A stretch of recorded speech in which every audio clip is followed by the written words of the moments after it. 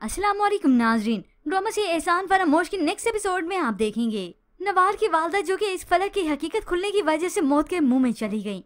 वो जो खतरे से बाहर हो गई थी, मगर उनकी तबीयत फिर से खराब हुई और उनका हार्ट फेल हो जाता है। अब ऐसे में इल्हाम का ख्याल यही नवाल ही रखती है।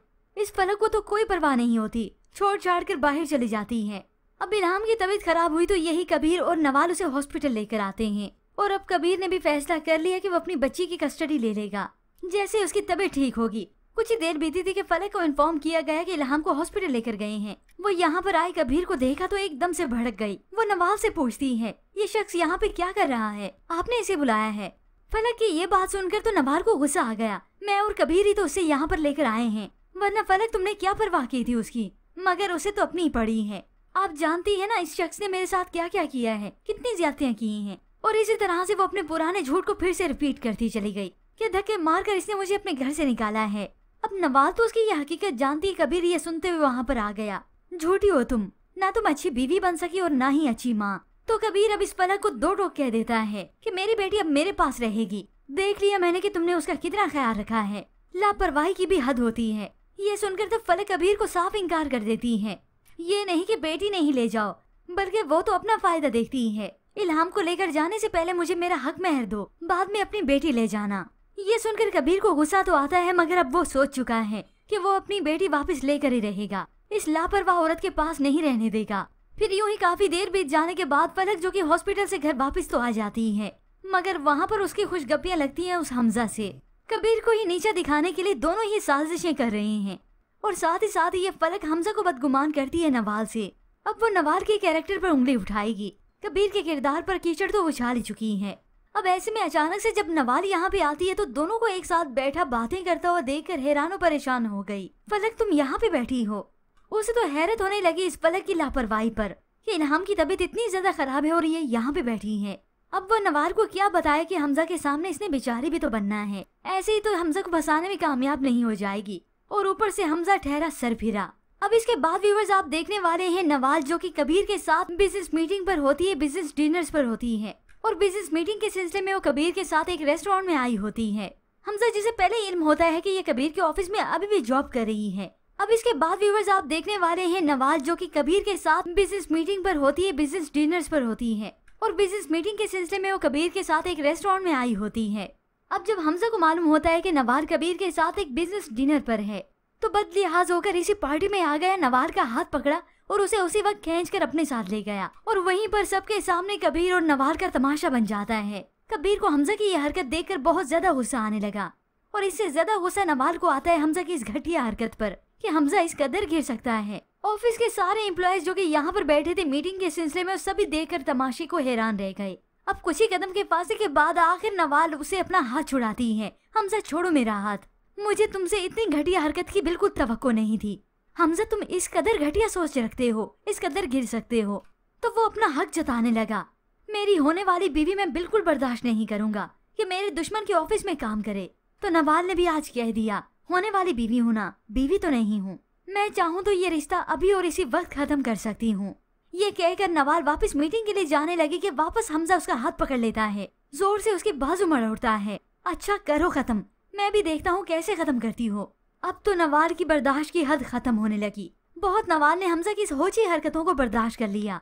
बर्दाश्त की भी कोई हद होती है। मैं इंसान हूँ, कोई जानवर तो नहीं। कि ये हमजा जब चाहे जैसे मर्ज़ी सलूक करे। और ये सारा फसाद मचाने वाले यही फलक ही है।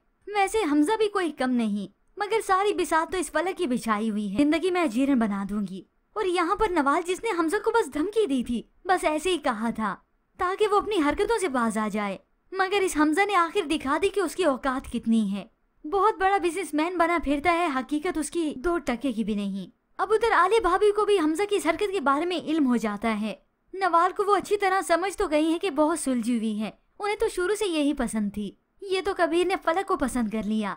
अब ऐसे कुछ वक्त बीतने के बाद यही आलिया भाभी ही नवाल को समझाती हैं। रिश्तों में अगर इज़्ज़त ना हो तो ऐसे रिश्तों का भला क्या फ़ायदा? इज़्ज़त पर बात आ जाए ना तो खामोशी नुकसान दे देती है।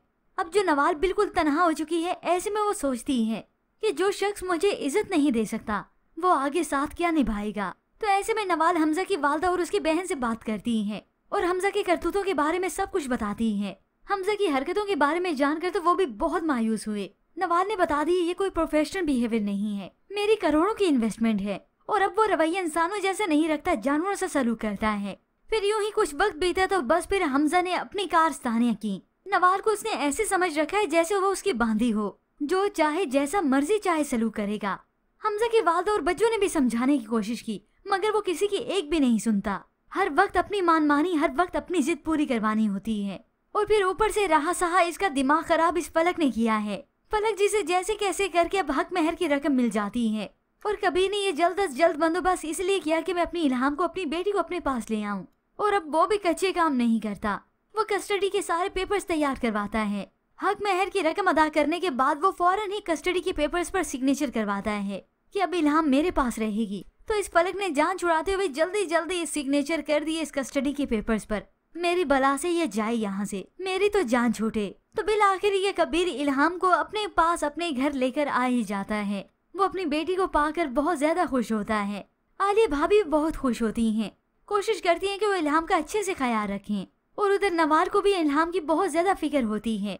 वो तो इल्हाम से अटैच हो ही चुकी थी, मगर साथ ही साथ आखिरी वक्त पर उसे अपनी वालदा से किया हुआ वादा याद है कि वो इल्हाम का ख्याल रखेगी। अब खैर, इल्हाम तो यहाँ पर अपने बाप के पास चली गई उसकी कस्टडी में आ गई। मगर यहाँ पर फलक जो कि अपनी चालें अपने तरीके से चलने वाली है, वो हमजा को रोते धोते उसकी हमदर्दी समेटते उसे ये कहती है कि इल्हाम की कस्टडी के पेपर्स पर सिग्नेचर कभी ने मुझसे ज़बरदस्ती करवा लिए। मैं कुछ ना कर सकी, आखिर मुझे दस्तखत करने पड़े। अब इस सब के बाद हमजा बहुत कुछ करना चाहता था, मगर बहाने करके पलक उसे रोक देती है, और साथ ही साथ हमजा कुछ ज़्यादा कर भी नहीं पाएगा, क्योंकि कस्टडी के पेपर्स पर सिग्नेचर तो हो गए, और अब पलक खाली हाथ है, यानी आज़ाद है। अब वो हमजा को अपने हाथ में पूरे तरीके से करती है, उसके पास भी जाएगी, उसका गम भी समेटेगी, उसे हमदर्दी भी जताएगी, और साथ ही साथ वो नवार को लेकर उसे बदगुमान भी करेगी, और फिर व्यूवर्स इसके बाद होगा वही जो यही दोनों डिजर्व करते हैं। यानी हमजा निकाह कर लेगा इस फलक से। क्योंकि इसे नवाल तो एक आँख नहीं भाती ना अब। और वैसे भी किसी से बदला लेने के लिए ये हमजा कुछ भी कर सकता है। फलक को भी यही कुछ चाहिए था और हमजा को भी। यूँ जिसने जिसे डिजर्व किया वो उसे मिला। क्योंकि हमजा को तो ये नवाल बुरी लगती है। और ये फलक जो कि बहुत अच्छी लगती है और बाद में इसे बताएगी, यानी ना कोई चने चुपवाएगी हमजा को। तो फिर इसे मालूम होगा कि अच्छा कौन है। ऐसे में व्यूवर्स बहुत कुछ होना बाकी है। अभी तो रिवॉर्ड भी मिलना है इस नवाल को। और भी ड्रामे में काफ़ी ट्विस्ट आने हैं। अगर आप एहसान फरामोश की मुकम्मल कहानी जानना चाहते हैं तो इसे हमारे चैनल पर बासानी देख सकते हैं या फिर आई बटन या डिस्क्रिप्शन में दिए हुए लिंक पर ये वीडियो जाकर डायरेक्ट देख सकते हैं। फ़िलहाल, आज की प्रोमो के मुतालिक हमें अपनी कीमती राय का इजहार ज़रूर कीजिएगा कि नवाल अब खुद ही तोड़ देगी हमजा से अपना रिश्ता, या फिर हमजा उसे छोड़ देगा। इसके मुतालिक हमें अपनी कीमती राय का इजहार ज़रूर कीजिएगा। मजीद ड्रामा रिव्यूज़ के लिए आप देखते रहिए उर्दू टीवी